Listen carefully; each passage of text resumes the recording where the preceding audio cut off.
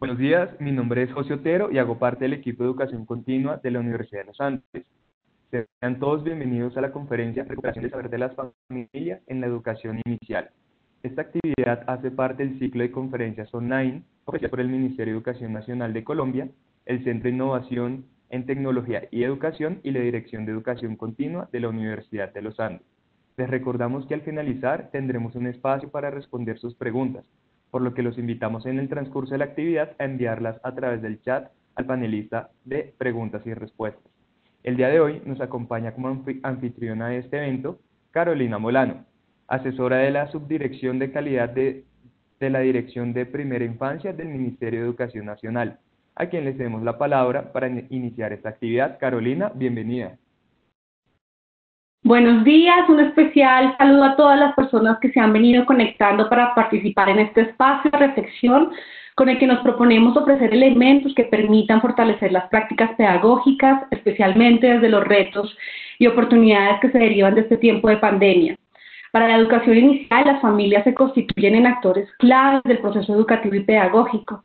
En tanto, a través del cuidado y la crianza, las niñas y los niños se acercan al mundo lo dotan de sentido, lo apropian y lo transforman. Allí se, se construye la identidad individual, al reconocernos como sujetos singulares, irrepetibles, al tiempo que valoramos hacer parte de una familia y una comunidad. Las familias son sujetos colectivos de derechos que tienen capacidades, potencialidades y muchas posibilidades para agenciar sus propios proyectos con el fin de generar las condiciones necesarias para que todos sus miembros eh, se desarrollen, y tengan bienestar. Por ello, en la práctica pedagógica, las familias están llamadas a aportar en nuestra comprensión eh, sobre cada uno de los niños y cada una de las niñas que acompañamos cotidianamente. Sus visiones y comprensiones son muy importantes, pues conocen aspectos de la vida cotidiana que determinan e inciden en la forma en que los niños y las niñas crecen, aprenden y se desarrollan. Esta comprensión del rol de las familias en el proceso educativo y pedagógico implica pensar en una relación horizontal, en la que con empatía podamos reconocer, valorar y respetar sus formas de organizarse, sus dinámicas particulares, saberes y prácticas. De allí la necesidad de profundizar en la importancia de contar con las familias en todo el proceso educativo, cómo se vinculan y participan, de qué manera nuestras propuestas pedagógicas y las estrategias que día a día eh, establecemos y planeamos favorecen esa participación, al tiempo que permiten construir vínculos para promover el desarrollo integral de los niños y las niñas de primera infancia. Para abordar estas reflexiones, que están estrechamente relacionadas con la importancia de la recuperación del saber de las familias en la educación inicial, tenemos el gusto de contar con una invitada muy especial. Marixa Díaz Barón, antropóloga de la Universidad Nacional de Colombia, cofundadora y directora del Centro de Expresión Artística y Jardín Infantil Mafalda, autora de varios textos académicos en las áreas de antropología social, infancia y educación, consultora e investigadora de numerosas entidades gubernamentales, ONG y agencias de cooperación internacional, entre otras, quien actualmente se desempeña como asesora pedagógica de la empresa Basesoria. Marixa te damos la palabra, bienvenida a este espacio. Carolina, muchísimas gracias. Em, pues es un gusto enorme estar aquí y primero que todo quiero agradecer esta invitación del Ministerio de Educación Nacional que en alianza con la Dirección de Educación Continua de la Universidad de los Andes hacen posible este espacio. A todas las maestras, maestros y demás personas que nos brindan su interés y su atención en este momento. A ver, para contextualizar lo que yo traigo hoy para compartir con ustedes, em, quisiera em, contarles que esta recuperación del saber de las familias en la educación inicial, eh, que yo quiero, a la que quiero hacer referencia, em, voy a tomar nuestra propia experiencia en el Centro de Expresión Artística Mafalda, durante 45 años que llevamos de existencia y las investigaciones en el campo específicamente de la antropología de la infancia, la antropología de la educación en distintos contextos, indígenas, contextos culturales, eh, eh contextos étnicos, urbanos, de diferente orden. Y algo muy importante eh, en nuestra experiencia ha sido el, el, adelantar de manera conjunta con el doctor Jairo Estupiñán un proceso con, con las familias del jardín eh, durante los últimos 10 años, que son una parte muy importante de esta referencia. Él asimismo ha estado llevando esto también al campo de la investigación. Bueno, este es el contexto y efectivamente nuestro punto central es reconocer ese saber de las familias y la manera en que repercuten las prácticas parentales o de crianza que requiere necesariamente que se aborde esa relación desde la complejidad. No es una relación sencilla, no es una relación simple, es una relación que, eh, en la que repercute y recoge la, familia todos los sistemas a los que ella misma está adscrita, las lógicas de los sistemas sociales las relaciones propias de la sociedad, hacen que se pueda decir que la familia es la parte que recoge el todo, la sociedad, es decir, y que la sociedad está presente en la familia, es decir, donde la parte está en el todo y el todo está en la parte. Es eso que a lo que muchos se refieren como los fractales, cuando vemos un árbol y que en una hojita se reproduce una estructura similar a la de todo el árbol o en tantos aspectos de la naturaleza, eh, lo podemos encontrar en los cristales de agua, en muchos elementos eh, se, se, tiene esa correlación. Luego los matemáticos empezaron a estudiar cómo era eh, que se reproducía esa, esa estructura y en las ciencias sociales fuimos descubriendo que lo mismo sucede. En la familia, las relaciones de poder, eh, las relaciones de género, las relaciones del uso del tiempo, las relaciones em, económicas, las creencias, todos estos elementos que conforman el sustento de las relaciones sociales y a su vez que se vuelven cultura, se recogen al interior de la familia la familia está interconectada. No necesariamente es un, es un espejo exacto, porque es dinámica y es histórica y se está transformando, pero está absolutamente interconectada. Entonces, como sistema, de lo más interesante es que es un sistema que tiene regularidades y, por ejemplo, modelos que se quieren tener cada sociedad establece muchos principios de lo que considera debe ser la familia.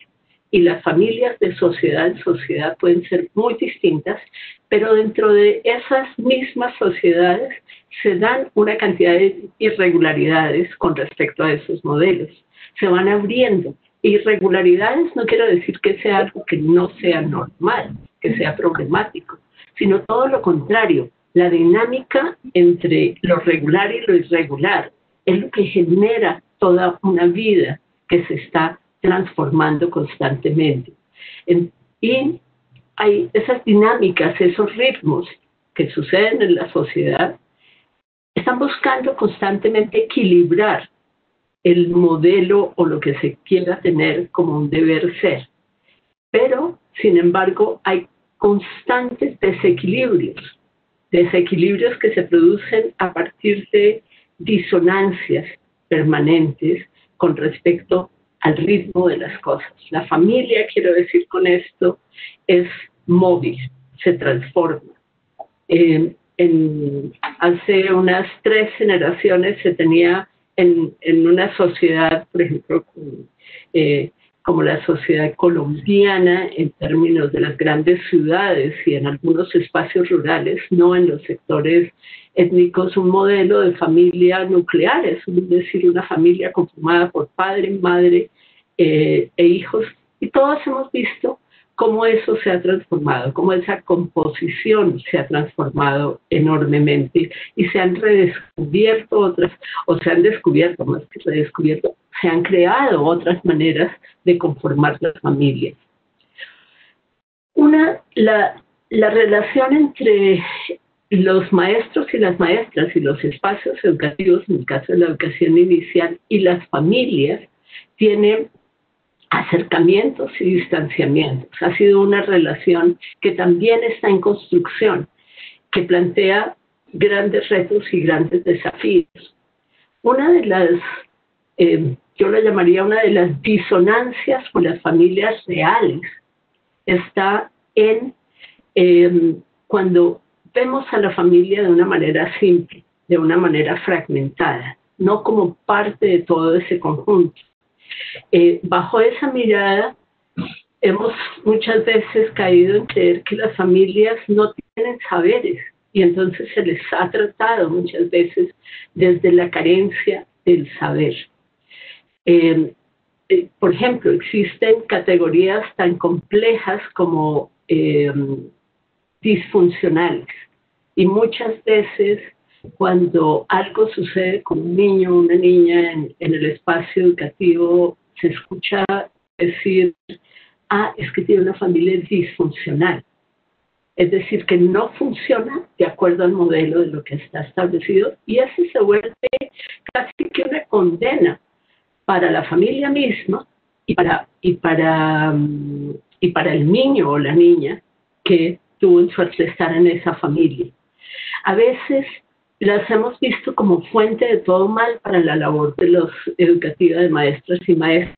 Y no quiere decir que, no quiero decir con eso que, que, que no incidan fuertemente, pero en el quehacer, eh, cuando nos encontramos con una dificultad, decimos, ah, es que con esa familia que tiene, no se puede esperar más. Y nos ponemos afuera de la relación y de entender esa complejidad de lo que está allí y también la dejamos en esa cierta condena. Otras aproximaciones han ido hacia infantilizar a las familias. Eh, a veces en aras de expresarles cariños llamamos a los padres papitos y mamitas en diminutivo, eh, no en adulto, que son. ¿no? Y los llamamos papitos y mamitas para explicarles, casi que para alfabetizarlos de lo que suponemos no saben nada. Se han creado instancias como las escuelas de padres. Y las escuelas de padres, que pueden ser un espacio importante e interesante para construir conocimientos y reforzar muchos o eh, incursionar en nuevos conocimientos, tienden a partir de, de la presunción de que son, hay un analfabetismo parental en las familias. Los mismos padres y madres inclusive dicen es que los hijos no vienen con manual. Y no tenemos el manual, entonces somos ignorantes frente al asunto. Pero son tan ignorantes como somos todos con respecto a la vida. Eh, pero eso no quiere decir que no existan saberes, que no existen conocimientos y conocimientos muy valiosos que necesitamos efectivamente comprender, acercarnos a ellos, ubicarlos dentro de los sistemas y eh, nutrirlos, pero nutrirlos de manera conjunta. Por eso yo les propongo en esta charla que al igual que con los niños y las niñas, dejemos atrás esa mirada de las familias eh, a partir de las carencias, como hemos empezado a hacerlo con los niños y las niñas, para verlas desde sus potenciales, lo que no significa desconocer o justificar sus errores y necesidades de fortalecimiento, de ninguna manera, pero sí significa que ellos, nosotros podamos encontrar cuál es esa fuente para que ellos puedan fortalecerse y generar sus transformaciones. Lo mismo ha sucedido con los niños, como ya lo decía, y ha sido un proceso y un cambio muy, muy importante. Em, cuando nos paramos en los potenciales, se ha visto la correlación entre el reconocimiento y la manera en que la confianza crece en las familias, cómo se afianzan sus fortalezas para resolver problemas internos, al tiempo que logran revisarse a sí mismas y de manera autocrítica y todo ahonda en desplegar eh, mayores esfuerzos para transformarse a favor de sus hijos. Efectivamente, pueden haber familias en las que haya severos problemas de desarmonización, de mm, salud mental, por ejemplo, que confluyen y de condiciones externas de pobreza o de excesiva riqueza o de eh, excesivo apego, de todo esto que vemos cotidianamente que pueden ser muy críticos y que bloquean a la familia. Pero regularmente podemos encontrar un elemento cohesionador que los conecta con la vida, con el amor a la vida de sus hijos, con el amor por sus hijos. A veces no necesariamente por el amor que ya se tengan como pareja, eh, pero sí ese compromiso y ese amor con los hijos suele ser el gran elemento para encontrar esas fortalezas y pararnos desde esas fortalezas como potenciales. Em, esto también quiere decir, esto no sea solo en una vía, las familias también miran a las maestras, a los maestros y a, los, a los espacios educativos, los pueden mirar desde las carencias o desde los potenciales. Es una manera de vernos mutuamente que se construye en este caso. Yo no puedo esperar que si yo veo a la familia como una familia disfuncional, carente de un listado de cosas y fuente de una cantidad de males, ella no me mire de la misma forma. Ella en cambio reconozca mi labor y reconozca mi esfuerzo y reconozca todo lo que sí soy capaz de hacer. Eso es algo que se construye en una relación mutua y que se incorpora en la cultura de una manera muy constructiva para todo el conjunto. Bueno, con ese propósito voy a abordar con ustedes algunas reflexiones para encontrarnos con las familias y sus, y sus saberes a partir de tres aspectos que quisiera que nos, que, que nos queden como el punto para poder volver y reflexionar sobre ellas ya en la práctica educativa como madres, como padres o como maestras y maestros en sus quehaceres pedagógicos. El primer aspecto es cómo acercarnos al conocimiento y saberes de las familias partiendo de reconocer nuestros propios imaginarios de familia. El segundo aspecto es transitar del imaginario para asumir a las familias reales y verlas y que se vean a sí mismas desde sus potenciales. Y el tercer elemento es cómo generar diálogos constructivos para nutrir las prácticas parentales y también hacer de las familias fuente de nutrición para nuestras propias prácticas pedagógicas. Vamos por este lado. Entonces tenemos unas diapositivas para ilustrar muy, muy puntualmente algunos aspectos. Si podemos pasar a la primera diapositiva, que ya la tenemos allí, es el, esta se refiere a ese primer punto, al, al conocimiento, a cómo acercarnos al conocimiento o saberes, llamamos de las familias, partiendo de nuestros propios imaginarios. Yo diría que como punto de partida para la recuperación del saber de las familias en la educación inicial, necesitamos entablar, como ya les venía diciendo, un conocimiento mutuo entre maestros, maestras y familias. Los saberes de las familias, y voy a incluir aquí a los cuidadores, que muchas veces no tienen un lazo consanguíneo con la familia, a veces sí lo tienen abuelos, eh, otro tipo de parientes, pero hay cuidadores que son padrinos o vecinos o personas contratadas inclusive para el cuidado, niñeras, de muchas formas pero entran de alguna manera a compartir ese núcleo familiar y ahí yo quisiera incluirlos como parte de esta familia. Entonces, este conocimiento necesariamente debe ser multidimensional, no puede ser visto únicamente entre, por ejemplo, casa y familia, perdón, y jardín infantil o espacio educativo esa correlación entre los dos. Necesita, eh, necesita verse en una dimensión de la familia con respecto a sí misma, con respecto a unos círculos que de alguna manera son concéntricos y están interconectados, de todo un sistema de relaciones, como ya lo veníamos diciendo.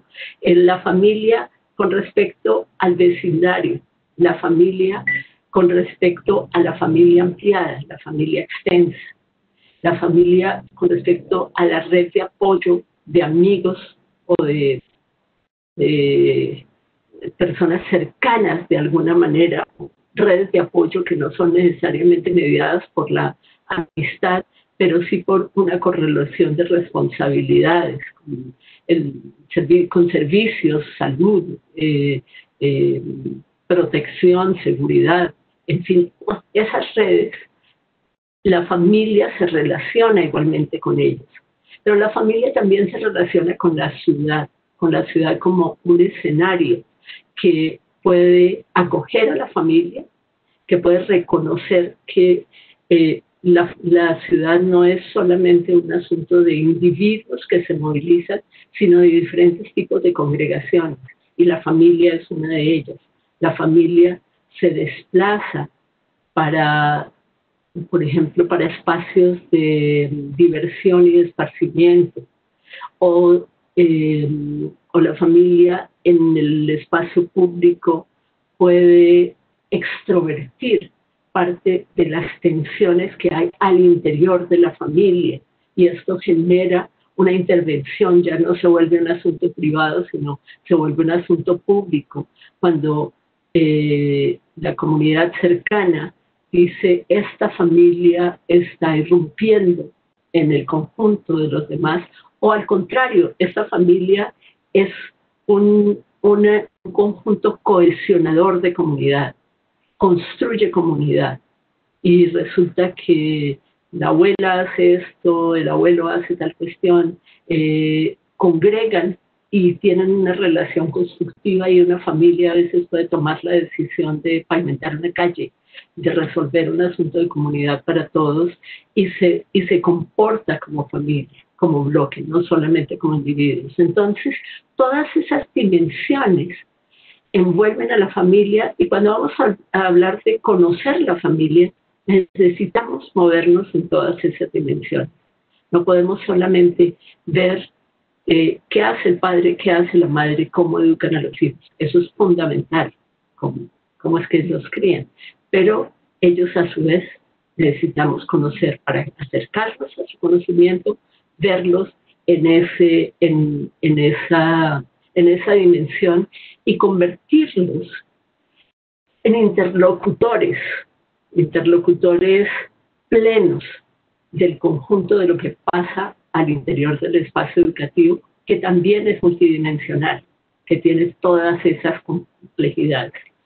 Pero para, me parece pertinente definir algunos conceptos. Eh, y es, por ejemplo, ¿qué estamos entendiendo por conocimiento y saber? Porque a veces los podemos usar indiscriminadamente eh, y hay diferentes posturas y tendencias frente a este, frente a este concepto. Por ejemplo, hay autores que identifican el saber como aquello que se ha construido a nivel popular en la vida cotidiana y que es empírico, que surge de la práctica, mientras que el conocimiento se refiere a la cognición derivada de la investigación sistemática o la indagación, así no sea una investigación académica mientras que otros definen el conocimiento como tener la noción o la presencia de algo. De hecho, esa es más la definición de diccionario. Yo tengo el conocimiento que en esta plataforma suele haber tal número de asistencia.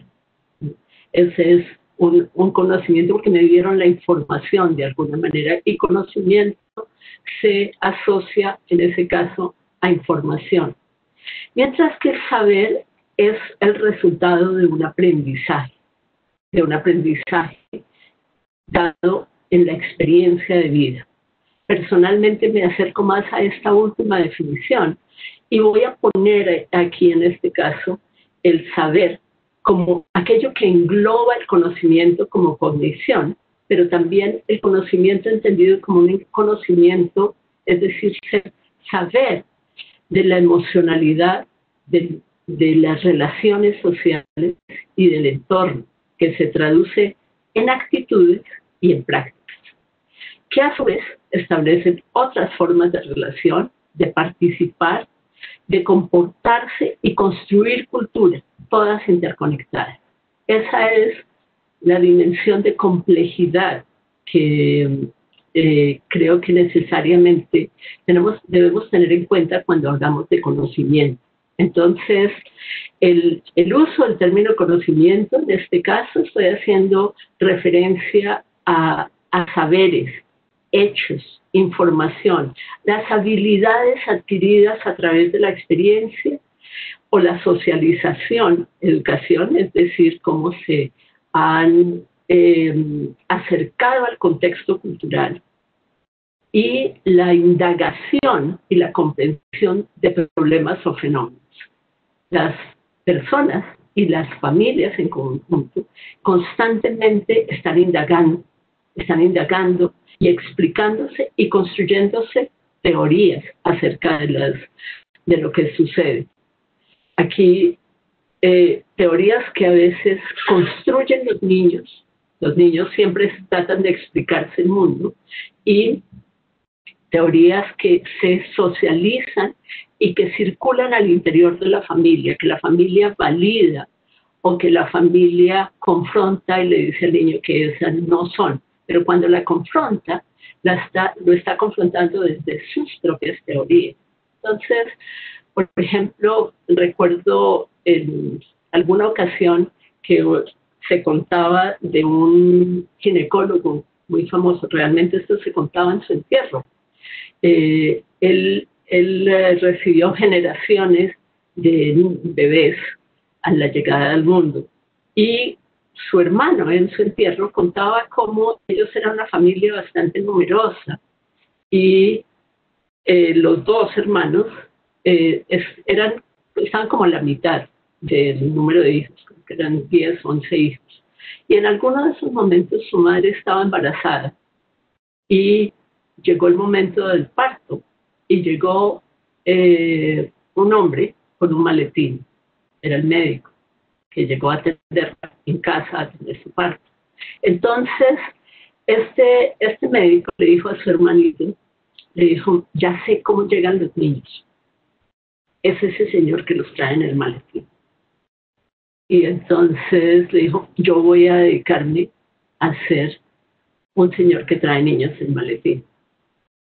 De hecho, muy seguramente ese niño, eh, esa teoría, tuvo algún eco, alguna, alguna conexión que hizo que creciera en él al punto que él se convirtió en ginecólogo. Después entendió que los bebés no venían del maletín, pero, pero los niños están constantemente em, explicándose el mundo y las familias también, insisto, en esta correlación. Em, otro ejemplo muy, muy lindo que compartía una, una familia acerca de una niña en falda es como en estos días del coronavirus, ella mm, ella para dormir tranquila en las noches llama por teléfono a la mamá del coronavirus y le dice, le, le, hace unas peticiones muy enfáticas. Le dice, eh, señora mamá del coronavirus, no dígale a, su hijo que no salga y que y si, se le sale, que no se vaya a entrar por la chimenea a mi casa, porque aquí no queremos que se entre.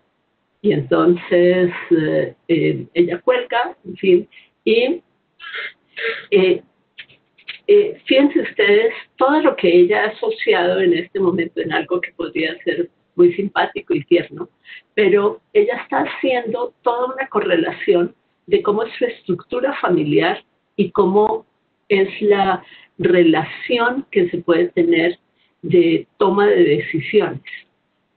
Yo me atrevería a decir que en su mente ella identifica que todo el mundo tiene una magia en algún lugar, a partir de su propia experiencia.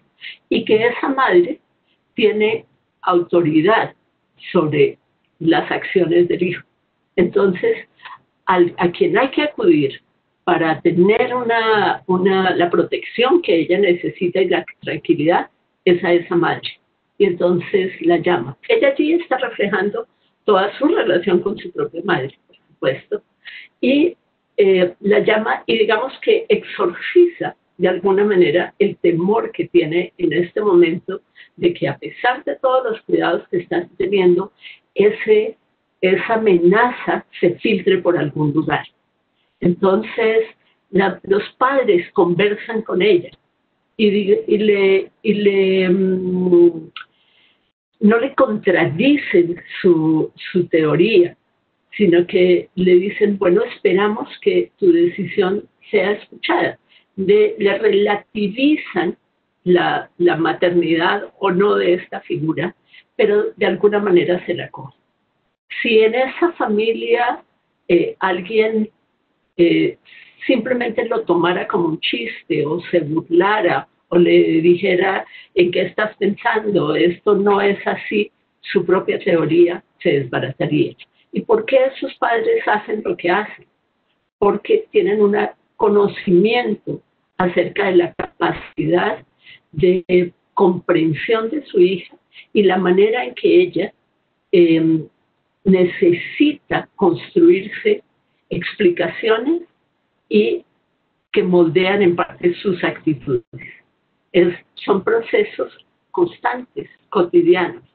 Es, es difícil inclusive establecer si hay una respuesta correcta o incorrecta, pero lo interesante es la conexión entre esas teorías, entre las creencias y las percepciones mutuas que se hacen presentes en ese momento.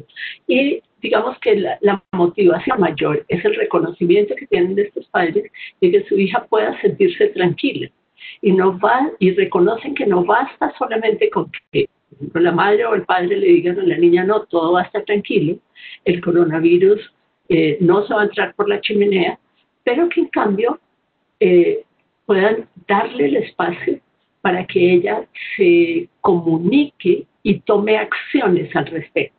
Eso es fantástico, eso es maravilloso. Y son y, lo que los mueve a hacerlo es la búsqueda de la tranquilidad de sus hijos. Bueno, todo ese conjunto de conocimientos y de saberes se traducen en actitudes, se refieren, generan puntos de vista, perspectivas, reacciones y formas establecidas de pensar y creencias sobre los aspectos de crianza, sobre protección, sobre el cuidado, sobre el desarrollo del niño. También se incluyen allí los roles y responsabilidades de las familias y de sus miembros. Las actitudes están intrínsecamente relacionados con los patrones culturales fundados en experiencias comunes. Alguien de al lado le le puede contar eh, cómo la niña está durmiendo de bien a partir de, llamar por el coronavirus y de pronto otra persona adopta esa práctica e induce a su hijo, ¿quieres llamar a la mamá del coronavirus y hablar con ella? Y, esto se puede eh, eh, compartir, pero se comparten prácticas de mm, tal elemento por decir algo, una de las prácticas en un texto que les recomiendo muchísimo, precioso, que se llama Velo qué bonito, que es acerca de la conformación del cuerpo sonoro en los niños eh, afrochocuanos. Eh, lo pueden encontrar en Vimeo, eh, si buscan Velo qué bonito. Una de las tantas prácticas protectoras que se desarrollan alrededor de la familia con asistencia de las parteras es, por ejemplo, no mencionar las virtudes que tengan los niños, porque los pueden exponer al mal. Cuando un niño hace algo excepcional, eh, esa excepcionalidad es preferible tenerla em, en sigilo, en silencio y dejar que se desarrolle solo. Esta es una creencia profundamente arraigada y supremamente importante para eh, la protección de los niños. Y así hay cantidades de elementos que forman parte de su cuerpo. Alguien desde otro modelo podría pensar que esos son supercherías, pero no lo son. Son esas creencias fundamentales en ese contexto cultural. Y en otro lugar se tienen otras. Em, en, un contexto como el de Bogotá eh, o ciudades, en muchos lugares, recién nace una niña, se vuelve importantísimo eh, ponerle unos topitos. Y mm, eso puede ser visto por la misma niña, posiblemente más adelante, como una práctica supremamente ultrajante porque se le perfora su cuerpo sin su consentimiento. Pero el asunto está en qué representa. Es un elemento que durante mucho tiempo se convirtió en un identificador de género. Los bebés muy pequeños eh, no se distinguen eh, fácilmente si son niñas o niñas, los distinguían poniéndoles colores rosados y azules en algunos contextos, pero cuando los vendían de otro lado, entonces era propio que las niñas tuvieran, tuvieran aretes, tupitos, pero en cambio eh, en otros lugares se le puede poner una manillita para protegerlo del mal de ojo. Eh, la una puede significar el reconocimiento de su género e inclusive el prestigio, si son de oro, por ejemplo. Em, y en la otra es una manera de protegerlo. Lo complicado está en cuando una de las, de las miradas juzga y descalifica a la otra. Y la descalifica considerando que la suya es la adecuada. Y todo esto va hacia, hacia donde me quiero referir más adelante, que son esos imaginarios. Entonces, esta estas actitudes de aceptación o distanciamiento ante las prácticas, que son esas maneras de actuar, de comportarnos, de tener la concreción de las formas de criar a los hijos y a las hijas, que pueden dar forma a, a cómo es su desarrollo, su cuidado y su protección en esos distintos escenarios de la vida cotidiana.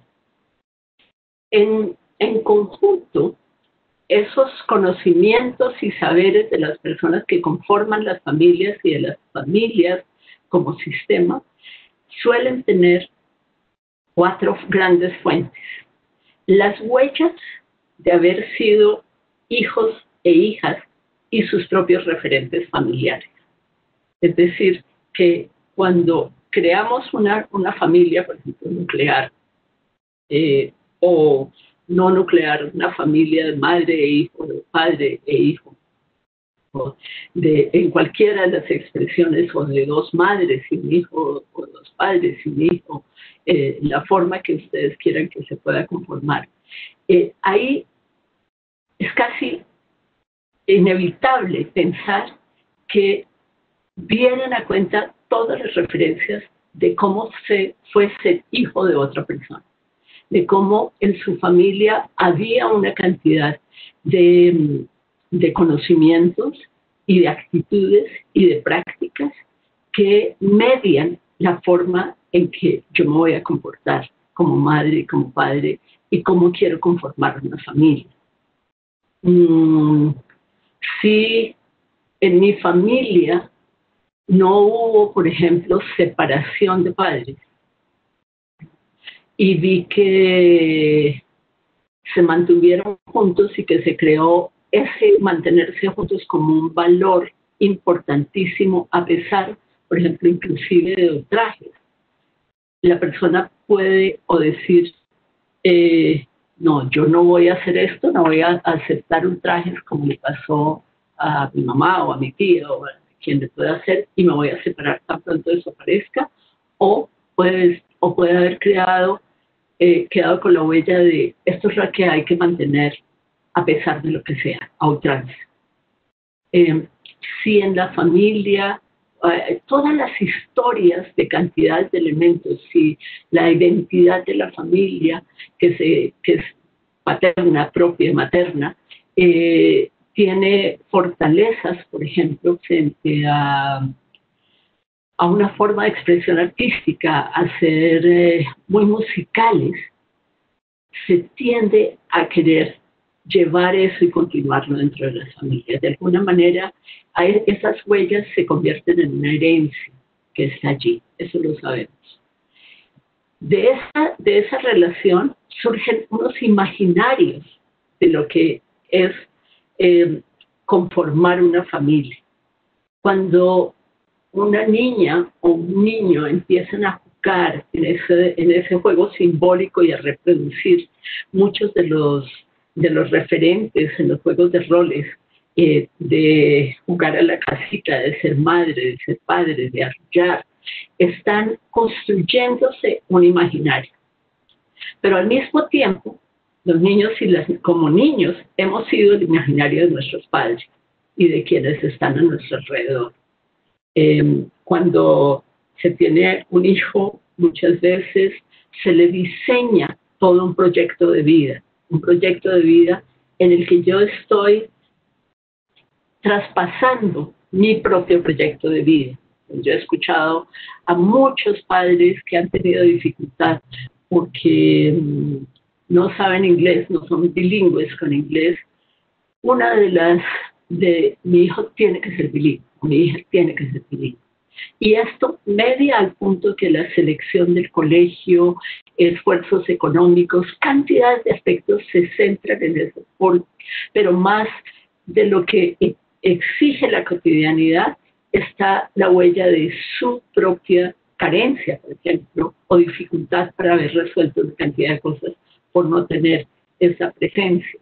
Y esto muchas veces hace que se desconozca eh, que el contexto ha cambiado y que el bilingüismo fluye por entre la sociedad de otra manera, o por ejemplo, que, mm, que un niño eh, no está eh, conectado con ese otro idioma.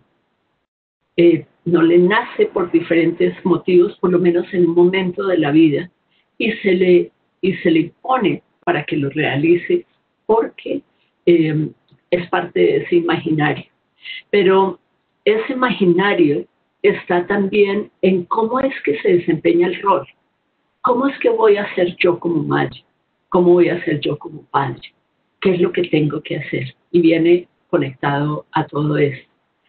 Y sucede también, diría que las maestras y los maestros también nos construimos desde nuestras propias historias, conjugado con las teorías, por supuesto, y con una cantidad de conocimientos más académicos y profesionales, un imaginario de lo que es, debe ser una familia, cómo debe estar conformada, cómo debe ser la comunicación, cómo debe ser la responsabilidad o la corresponsabilidad interna, cómo deben ser los tiempos, como cantidades de cuestiones. Hay, hay maestras o maestras que entienden, les parece normal que los padres no asistan a las reuniones de familias, que las madres asistan.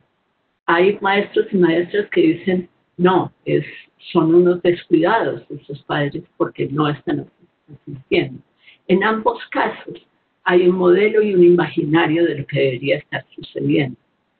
Si lo miramos desde esa complejidad, necesitaríamos entender cuál es todo el sistema que está alrededor de esa presencia o ausencia. No solamente el horario de trabajo, sino que ellos mismos cómo están entendiendo el rol de cada uno con respecto a la relación, por ejemplo, del jardín. Eh, y, y qué está detrás de eso. Y se corresponde, por ejemplo, con que en el lugar de trabajo de ese padre, los otros padres no van y al contrario lo descalifican, o se corresponde a que realmente quisiera ir, pero eh, el, su, su empleador no se lo permite, o a qué se corresponde. Se corresponde a qué asociación.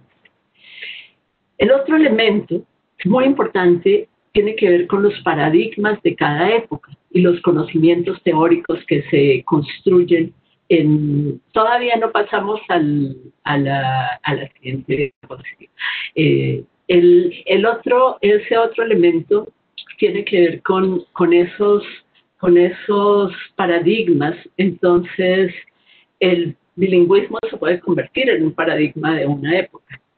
En, en, hace tres generaciones el paradigma era saber leer y escribir. Hoy en día el paradigma es la tecnología, porque el contexto ha cambiado y está moldeando también ese, esos saberes de las familias. Son partes de las transformaciones que están allí.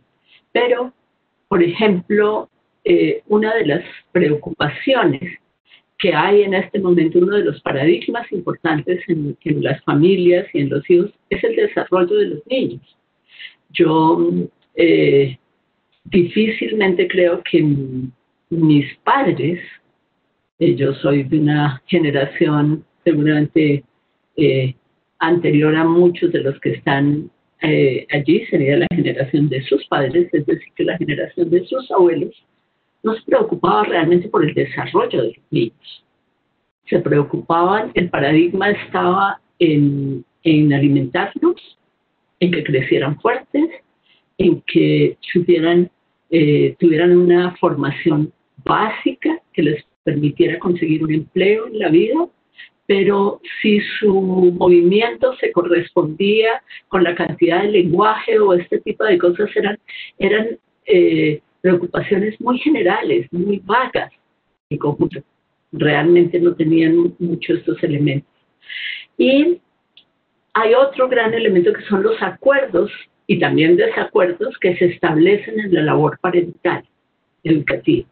Los, los parientes y particularmente madres y padres están buscando construir constantes acuerdos porque confluyen las, las dos historias en cada, en, las dos personas o en las muchas personas que conformen ese conjunto. Y entonces ese, es, ese conjunto de elementos está nutriendo los conocimientos, pero al mismo tiempo lo está eh, problematizando. Es, es, es algo eh, maravilloso, muy interesante de lo que está sucediendo allí, pero que al mismo tiempo tiene mucho que ver. Bueno, em, ahora sí pasaríamos a la segunda diapositiva, em, que va orientada a cómo transitar del imaginario para asumir el ser real, transformar esa percepción mutua en el ejercicio del educador, em, del educador parental o maestra o maestro. Y esto tiene que ver con que veamos a los seres reales, empezando por ver nuestro propio ser real, dejar de ser el imaginario de otro y ser quienes realmente somos, identificar qué está en mi naturaleza y qué va en contra de mi naturaleza para poder realmente potenciar eso y entenderme con la vida desde lo que soy e inclusive aprender algunas cosas que no son eh, parte de mi naturaleza, pero que necesito para la existencia, pero no ubicar la valía de mi ser en lo que no soy, en lo que es el imaginario de otro, así es otro ser mis padres. Y no ubicar la valía de la familia en mi imaginario, sino la valía de la familia en su ser real. Esto pasa por elementos como que entendemos como éxito, como el supuesto de felicidad. Si nosotros entendemos que mm, el, éxito es eh, una familia exitosa, es una familia adinerada, em, pues sabemos que tenemos un país con una cantidad de familias que fracasaron, porque tenemos unos niveles de pobreza inmensos podemos ubicarlas como familias fracasadas que no han hecho dinero. Em, eso depende del modelo y de lo que yo crea que es ser exitoso o tener prestigio. Si la felicidad es eh, no tener dificultades, es lograr un estado de una panacea mm, constante, eh, entonces ese estado ilusorio nos, se confrontaría con la realidad, con una realidad que está permanentemente planteando dificultades. El asunto, entonces seríamos constantemente infelices y sujetos infelices y familias infelices constantemente. Uno de los elementos que en, algún en programa también del Ministerio en Profe en Casa eh, me preguntaban acerca de la identidad de la familia y yo les decía que yo creo que uno de los elementos más importantes de la identidad de la familia está en cómo resuelve sus problemas. Está en si los resuelve a través del silencio, a través del diálogo, a través de la cooperación, a través de la inculpación, a través de qué los resuelve y qué pone al servicio de esa resolución, o si lo que pone al servicio de la resolución no lo resuelve, sino lo agrava más. Y es tal vez uno de los puntos más importantes para la labor de las maestras y los maestros en ese, en ese transformar esa mm, percepción mutua y realizarse y relacionarse desde, desde estos potenciales y no desde la carencia. Y propender, como lo plantea esta, esta diapositiva, frente a la armonía de la familia y la educación institucional. Es, estaría en, eh, en, estos, en estos espacios em, eh, frente, frente a todo esto. Por supuesto, mm, hay aspectos para esa armonización que tienen que ver con la atención sobre lo que está rodeando a los hijos y a las hijas, la atención y qué lugar ocupa eh, ese, ese contexto y ese, ese entorno. Es, em, los, los, padres lo ven como una, como, como una amenaza o no lo ven como una amenaza. ¿Dónde identifican las amenazas? ¿Qué es lo que consideran una amenaza? Eh, y todo esto nos implica ahondar en, esta, en, este, en, en estos elementos que conforman lo que diríamos significa eh, realmente conocer a las familias para poder em, valorar y reconocer también esos saberes. Si podemos pasar a la tercera diapositiva, yo quería preguntarte, Carolina, ¿cuánto tiempo nos queda? No sé si estoy excediéndome. Eh, ¿Cómo? Marisa, eh, ya digamos tenemos el tiempo para, para cerrar. Perfecto, solamente para cerrar, entonces diría que un, un asunto fundamental está en, en, como ustedes ven allí, en construir eh, un diálogo, generar un diálogo constructivo para lograr una comprensión activa eh, acerca del otro desde su propia perspectiva, no solo desde, desde la que nosotros tengamos como maestros acerca del otro. Entender sus razones, sus esfuerzos, sus sentimientos y sus necesidades para ver que allí no se está completamente desprovisto de conocimiento, sino que se tiene una lógica propia de, los de, de esa relación con el mundo, sus saberes, sus conocimientos, sus actitudes y sus prácticas. Y es fundamental en ese diálogo construir vínculos, y vínculos significa valorarse, escucharse mutuamente y ojalá que esos vínculos permitan construir una comunidad.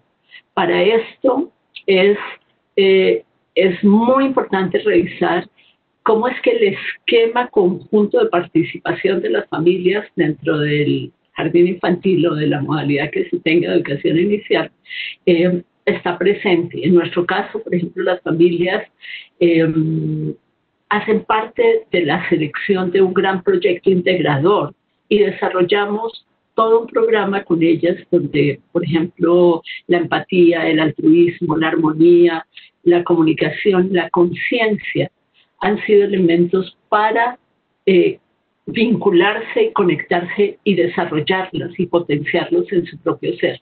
Desde ahí se generan verdaderos espacios de participación y redes de apoyo, redes de apoyo que pueden conformar unas comunidades maravillosas por supuesto, en un proceso supremamente complejo, decía desde un comienzo, eh, desafiante, lleno de las eh, irregularidades y confrontaciones que forman parte de todo el conjunto de nuestros sistemas. Dejaría allí entonces y de nuevo muchísimas gracias. Estos son, bueno, finalmente tres textos que mm, pueden ser importantes para los maestros. Seguramente el de Augusto Curi, muchos de ustedes lo conocen. Eh, y hay un texto de, de Jairo Estupiñanes, está mal escrito el nombre, eh, y Ángel Hernández sobre, la, sobre psicoterapia sistémica que aplica mucho para espacios de, de familia. Y eh, Dora Fried eh, habla mucho sobre los diálogos generativos. Una anotación última es eh, que para nosotros ha sido muy importante, ha sido saber, poder distinguir cuál es nuestra labor pedagógica, pero no convertirnos en psicólogos si no lo somos. Saber que eso le corresponde realmente al saber de quienes tienen esa experiencia. Bueno, muchas gracias. Gracias a ti, Marixa. Muy interesantes las reflexiones que, has propuesto. Eh, tenemos una pregunta que va, va a la vía de, esto que tú has, mencionado a lo largo de tu exposición y que tiene que ver precisamente con eh, cuáles podrían ser estrategias importantes que pueden, digamos, resultar válidas en la educación inicial para acercarse a las familias. Bueno, ya mencionaba una que es la participación como familia, em, es el, poder generar consensos colectivos, obviamente, sobre, sobre la vida escolar, donde las, el control de las decisiones no esté únicamente en las maestras, en los maestros y en la institución, sino donde esas decisiones se concierten con los niños y con las familias y que las familias puedan realmente entrar constantemente. Muchas veces los, los eh, maestros tenemos miedo a las familias, tenemos miedo a que las familias eh, nos juzguen o exijan lo que no podemos. Y, y, realmente la labor educativa, la labor pedagógica, el, lo que pasa al interior del aula no es un espacio privado de la maestra, es público, porque la educación es pública en ese sentido. Lo que se haga, se deje de hacer. Entonces necesitamos disponernos a que ellos estén allí. Pongo un ejemplo, nosotros tenemos una alarma para emergencias que asustaba mucho a los niños y un papá ingeniero eléctrico vino y construyó una alarma con los niños para que pudieran ir moldeando el volumen y pudieran eh, no sentir miedo del ruido. Pero así hay infinidad de posibilidades donde las familias pueden estar participando. Y en la medida en que se participan, sienten ese conocimiento y la comunicación con ellos, que sea la empatía, eh, eh, significa ese reconocer sus saberes y reconocer sus sentimientos y sus necesidades.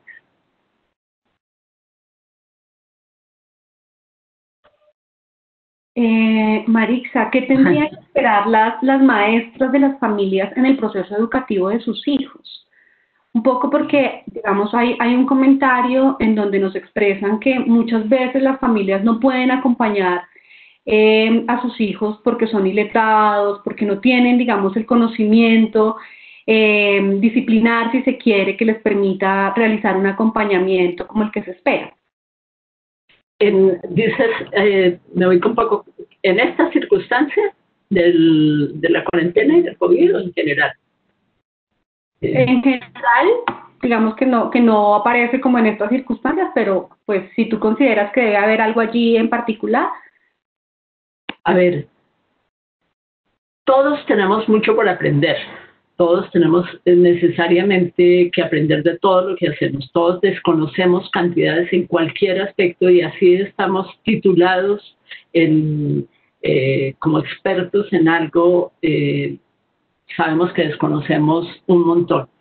al ser padres se desconocen muchas cosas de las dinámicas de cada tiempo y eso rezaga a veces la, la idea de control que los padres puedan tener y de resolver todo con los hijos.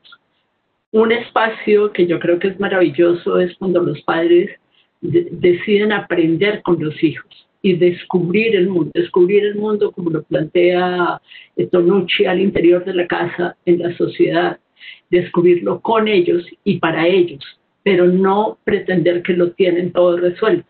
Entonces, en, estas, en esta mirada de esa familia real, por supuesto que un elemento muy importante es que puedan ser conscientes de, de qué más necesitan aprender para fortalecer su, su labor y, y fortalecerla de manera amorosa.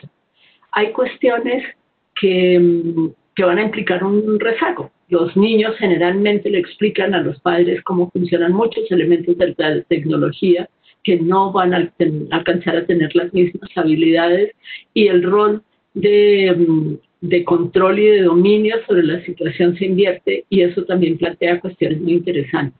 Pero la mayor formación está en tomar ese amor que hay que cultivar hacia los hijos y hacia el cuidado del otro para realmente ver cómo es que se está pudiendo ser coherente con él. Y, las personas, por naturaleza, estamos equipadas para ello.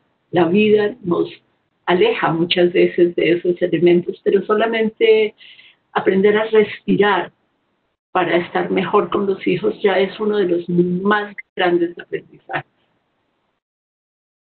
Eh, Gracias, Marisa. Sandra Parra nos pregunta, eh, en tu opinión personal sobre la tecnología y la primera infancia, ¿qué te parece este nuevo escenario de aprendizaje en familia? Bueno, eh, nuestra opinión no tan personal, sino de, como proyecto en Mafalda, um, siempre vimos que, que los niños y las niñas tenían tanto por incursionar a nivel del juego y el arte, que mm, eh, darle mucha importancia a la tecnología realmente eh, nos quitaba tiempo de lo otro. Y recogiendo mucho de lo que, digamos, los expertos del Silicon Valley han dicho sobre lo que generan estos aparatos, eh, siempre realmente no les prestamos la menor atención.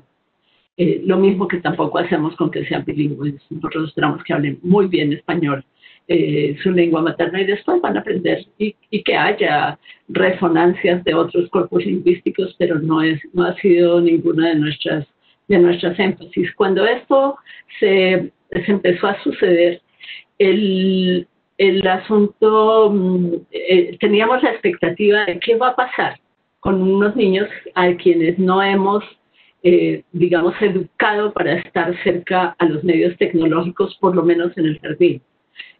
Nos encontramos con que ellos tenían una formación en sus contextos familiares muchísimo mayor de la que nosotros, de la que nosotros nos sospechábamos en sus cotidianidades por las características de sus familias, obviamente, pero algo, algo interesante estuvo también en cómo quisimos asumir el lugar del computador en este espacio primero que todo, cuando nos eh, despejamos de la idea de que los niños estuvieran sentados haciendo lo que nosotros les dijéramos que hiciera, así fuera eh, muy entretenido, artístico y recursivo, sino que fuera un elemento que estaba allí que iba a mantener el vínculo con sus pares y con sus maestras y con el espacio lo llamamos educación mafalduna en casa. ¿no? Es un rincón para Mafalda en sus casas a través de un aparato, pero sin las expectativas. Y cuando alguien se preocupaba porque el niño no le está prestando atención, le decíamos, claro que le está prestando atención, el niño le presta atención a todo lo que está sucediendo a su alrededor.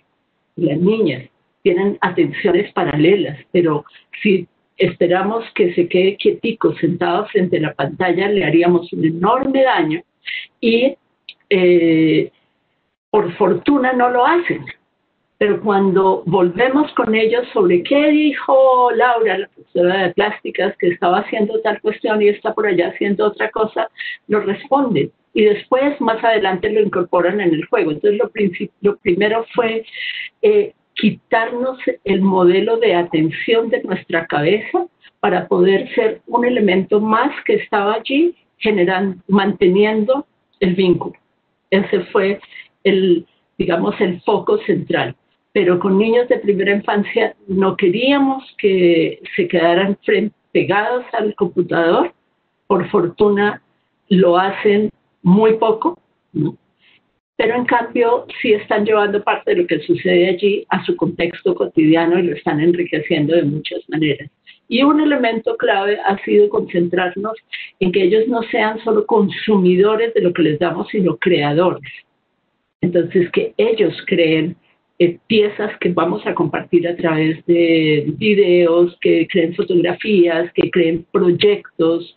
Un grupo dijo que les gustaría ir a la playa y entonces volvieron sus casas playas inclusive con arroz, bueno, con cantidades de cosas y todos se pusieron vestido de baño y eh, al tiempo estaban jugando relativamente lo mismo, nunca es igual, pero se dio de esa manera.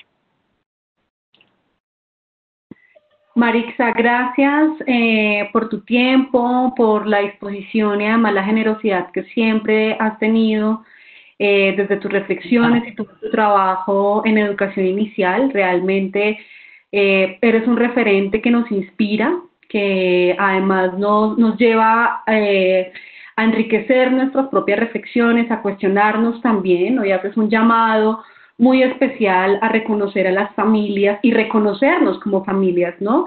Eh, desde este, esta complejidad de hacer parte de un sistema eh, social, cultural, que se va transformando y además que se vuelve tan dinámico en la vida cotidiana. Creo que, que es un elemento que has mencionado con mucha fuerza, como la vida cotidiana y la experiencia eh, que se va construyendo allí, pues constituye un saber fundamental que debemos reconocer en la educación inicial.